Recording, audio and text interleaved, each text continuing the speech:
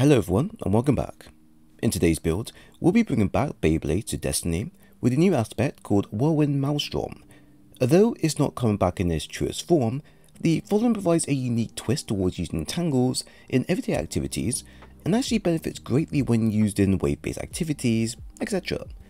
Not only that, but it works a treat when combined with foe tracers and Quicksilver's effect of creating tangles on the fly. So if you want to create a near infinite stockpile of them, then this is going to be the best option to achieve this. Funnily enough, this is what today's builds are going to show, so enjoy this one. To start, you're going to want to have Whirling Maelstrom, where destroying a tangle will create a violent mass of strand fibers. Then we have Widow Silk, where you gain an additional grenade charge and Grapple Hook creates grapple points. As the new aspect works fairly well with any abilities exotic in mind, you're going to want to expand on the given idea or make it as much tangles available to access.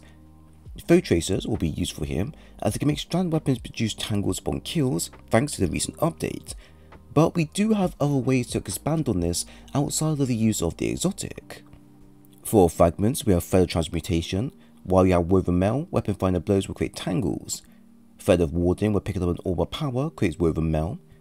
Of continuity increases the duration of suspend, unravel and sever. And further generation, dealing damage generates grenade energy. Out of everything being used, the further transmutation and warding are the key fragments to have when creating tangles easily. Although the build will rely on powered melee, foe tracer, and quicksilver storm to create tangles fairly easily, the above fragments are handy for when one of the three options do fail. This is particularly important as Foe Tracer can only work when main strand weapon is netting kills, so if that does fail, we then have our melee available as backup, which then leads into the two fragments as long as you meet their requirements. Although generation and continuity will help via suspend grenades, these by far won't be the huge focus with creating what we need urgently. For the mods and stats section, both discipline and strength will play a part within the build itself, but your melee will be the biggest player around. Your discipline now should be around a tier 7, although this will be pushed to tier 10 once Font of Focus is active. At tier 10, you will get a 1 minute 16 second cooldown rate, which is good enough for the build, as this will be paired with a generation fragment and shackle grenades. No big mods are really required for the stat, but having the Orbs of Restoration, and distribution mod will help with getting our grenades and our abilities back much faster and easily with what we got. Strength is the same at being at tier 7 and then tier 10 once Font of Vigor is available. This however will push our charge melee to a 1 minute 3 seconds cooldown which is also the same with not needing any extra buffs or mods to further enhance the following.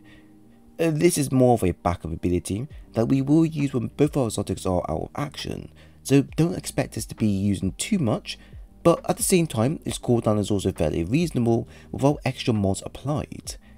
We do have the hands-on and heavy-handed mods for super ability regeneration, which is also recommended as our super will always be useful here. The next section will be focusing on armor charges and additional mods that are recommended for the build. Charged up will give you a plus 1 to how many charge stacks you can have, after that, having the Strand Surge mod for a 7% strand weapon buff, and the Time Dilation mod for a longer armor charge is always recommended and welcoming for the users to attach. Lastly, we do have the Harmonic Siphon mod for creating orbs of power via our strand weapons, and Reserves plus scavenger mods for increasing the payload of our heavy strand weapon. Now lastly, the weapons being used, we have the Quicksilver Storm AR, which would be one of the three ways to create tangles, this is a fantastic weapon with great stats and is flexible in whatever content you have in mind. Ideally, the reason why the weapon is great is because of its alternative mode which allows us to use its grenade launcher after a number of kills. Great against bigger targets, but its ability to create tangles is where it excels the most at, as these alone can deal a heavy amount of damage if detonated at the right time. It's hard to recommend other strand weapons here, as if you don't use the Foe Tracer, it's a lot harder to create tangles so easily using the hunters. However, as the build does use foe tracers, you do have free reign in terms of picking which strand weapon is best for you.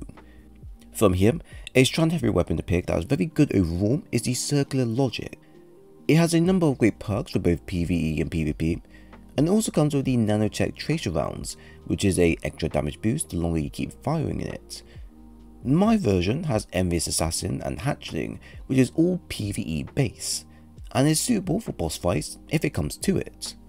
It's odd to see this ability being placed on the Hunter class as they tend to be more designed for mobility and quick strikes, so the shock of me seeing Whirling Maelstrom being used by Hunters was quite surprised, as it feels more like it's designed for Warlocks and their summoning abilities. Either way, the ability is quite fantastic with being sentient for a few seconds and also hunting down everything in your path while inflicting moderate damage. You have to focus this build on a specific setup that can easily create tangles as just relying on your abilities alone won't be enough here. Although focusing melee does provide a good way of making tangles once you have weakened enough enemies first, this is why using the Quicksilver Storm secondary form is the best way to achieve this, as it is easy to activate, does exceptional damage, and also triggers our use of foe tracers that has been recently updated. With its ability, it not only gives you a times 4 surge buff to your weapon, but also a elemental pickup which will be Tangle. This in many ways basically means that you can remove the surge mods that you currently have, and then just use this, depending on how often you are able to proc it. So as you can see, we have three ways of creating tangles, melee, primary weapon, and an exotic helm. And this is all that you need to make it work as you need to make sure you have plenty of options available in case one thing fails. Now the ability is not OP nor game changing at best, but it's a great fire and forget ability that you can chuck into a middle group of enemies and just let it do its thing. I can see this being very powerful when used in raids for dealing with wave based events or you just need to progress a certain area in GM but can't. Just destroying or throwing a tangle in a given area will activate it and it, then it will just do its own thing. Simply, as long as you have the three key things that I mentioned before, you can customize and design your very own Beyblade setup how you like. But what do you think? So, there we have it. I hope you all enjoyed the build breakdown. If you have any thoughts on the content shared, then please leave a comment below. While at the same time, if you enjoy the content and want more of these videos in the future, then leave a like and sub right here. I will leave a DIM link for the build below. If you want more stuff like this, then I have a playlist available covering all types of builds you desire. It was great sharing today's video with you all. I hope to see you again soon.